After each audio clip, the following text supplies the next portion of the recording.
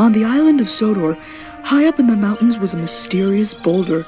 It had stood alone for a long time. But one day workmen arrived to build a quarry on the land below. Rusty, the little diesel, met Thomas and Percy that day. Where's all this rock coming from? asked Percy. The new quarry, replied Rusty. This mountain rock is good for many things, although it's dangerous up there. Why? asked Thomas. Because of a big boulder. I think it's watching me, replied Rusty. How can that be? Boulders don't have eyes. That may be, Percy, but there's something strange about this one. Just then, Edward arrived. He was delivering a new piece of machinery for the quarry. Rusty gazed at it in surprise. What's that? he asked. It's called Thumper, replied Edward. Apparently it helps collect the rock faster. Soon Thumper was working hard. This was its first day working at a quarry, and it wanted to prove itself. It was doing a good job, but the men were so pleased that no one bothered to check on the boulder. When it rained, the workmen went away. Rusty gazed up at the boulder and shivered. Suddenly, a large slab of rock landed on the rails. Rusty was shocked, and the driver was concerned. We'd best leave till the weather's better, Rusty. The rain's loosened some of this rock. I think it's Boulder wanting us to go away.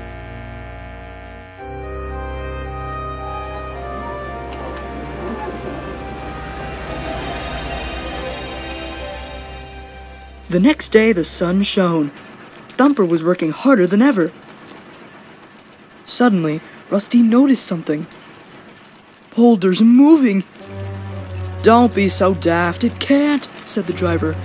But it could, and it did.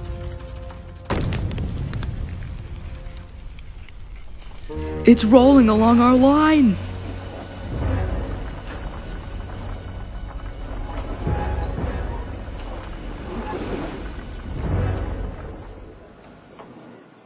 We'll stop here until Boulder passes by, said the driver.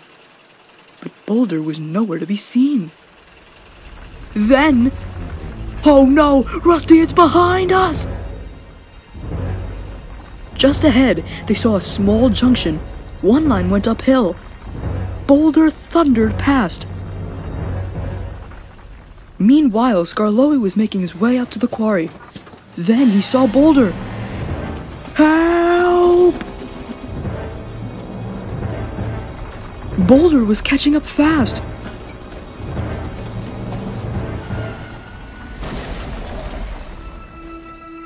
Just then, Rusty arrived. He'd followed the boulder close behind and had seen everything that had happened to Skarloey. We must warn the Ards, called Skarloey. Yes, but how? Boulder rounded a bend, and there ahead was Rheneas. It's running loose, yelled Rheneas. His driver drove him back as fast as he could. Hurry!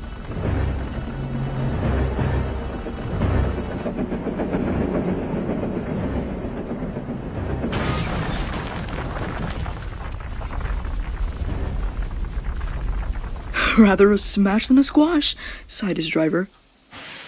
At the yards, Percy was collecting trucks. Then he heard Boulder.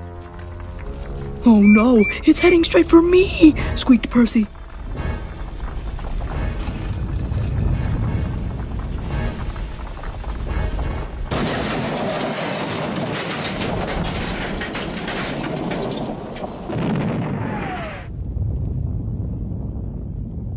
Percy was speechless, but felt rather relieved all the same. When Sir Topham had inspected the damage, he decided to close the mine. Then he looked at Boulder. We should have left this part of the island alone. They moved Boulder to a hill close by the yards. Rusty is sure that on a clear night it is gazing up at the mountain, and that its sides are being carried by the wind to where it once used to stand, proud and silent. I wonder if Rusty is right. Don't you?